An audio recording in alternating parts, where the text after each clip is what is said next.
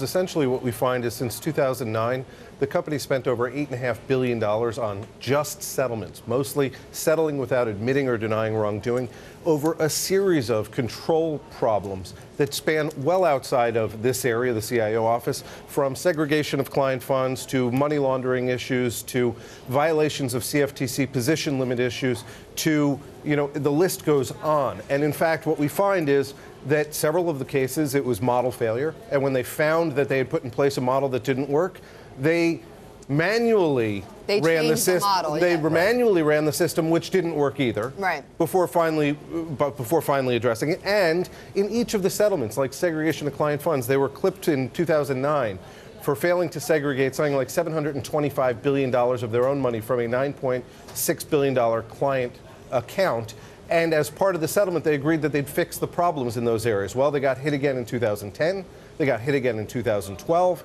They may get hit on Madoff. They may get hit on MF. We don't know.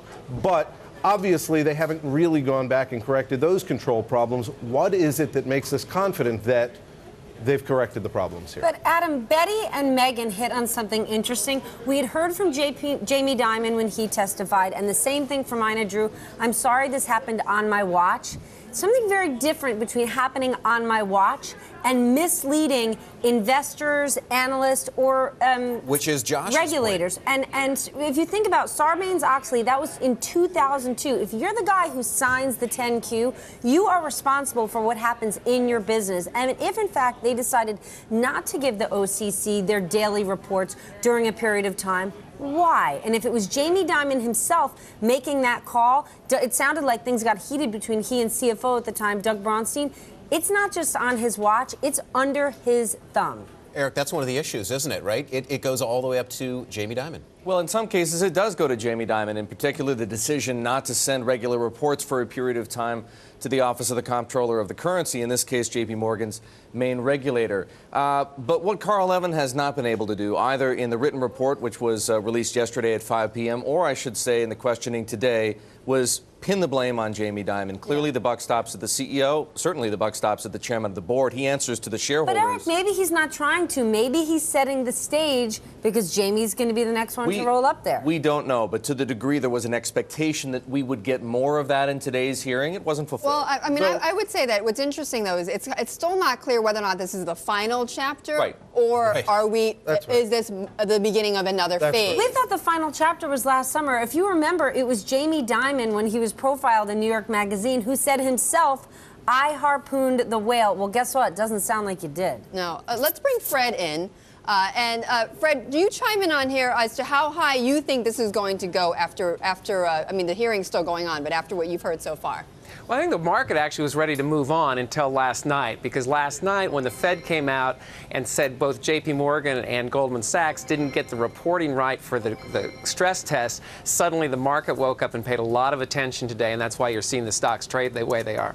So I think this is this is coming back into the market focus, and if it comes back into the market focus, it comes back into the focus on, on the entire company, including the CEO. Well, Fred, as we look at the stock right now, down about 2.3%, uh, one could certainly ask a question, so I'll ask you, why isn't it down more?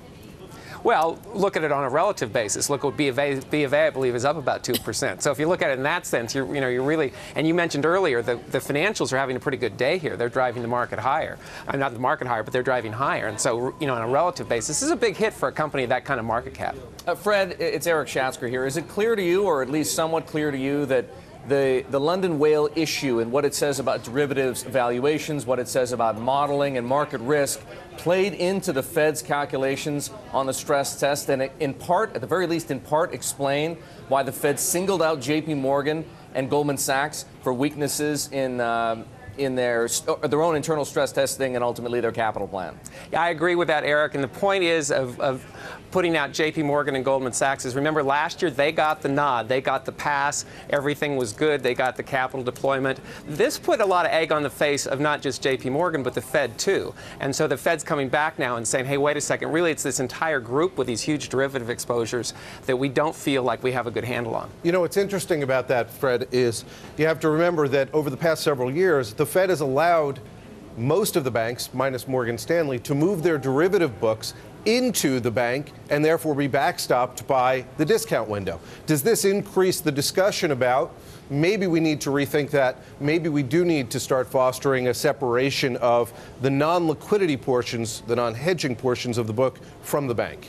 Right, and actually, the regulations are going to talk are going to do a push out of the derivatives away from the subsidiary banks with that deposit funding later this summer, and back to the holding companies, way Morgan Stanley. But it's a limited number. I bet you're going to see a lot of push to get those derivatives back to the holding company, where you start to see some market discipline. Fred, now that the uh, the Fed has gone through J.P. Morgan's assets and liabilities, is it a fortress balance sheet any longer? Again, I think when you start talking, just as Eric was talking about, when you talk about a company with $70 trillion in notional derivative exposures, uh, these big five that have that, that, uh, that, those exposures, I don't think we can, any of us can say those are fortress Absolutely. balance sheet. Absolutely. Yeah, and, Can, and, can we and- call and them by the way, mansions? yeah, we, well, we, we, we can call them bigger than the White House, Congress, and all combined. I mean, think about it. The balance sheet of J.P. Morgan is about 25% equivalent of GDP of the United States. Is that just too big? Well, the, the, the balance sheet is about one ninth the size. If you start including the off balance sheet derivatives, Right, right. then you end up in a different place. Yeah, um, Even larger. Adam, larger. we might Much not larger. see JP Morgan's stock take a hit at all. Investors might say, hey, we'll take a dip and buy here.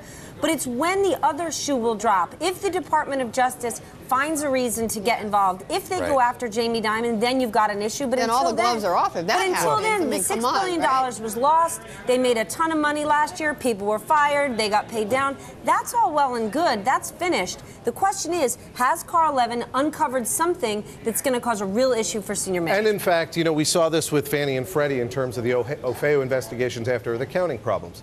There were consent decrees that were that were that were demanded of them. JPM is operating under consent decrees right this, at this point. Is the OCC now, with egg on its face, forced to take more significant actions against board members Well- or senior management?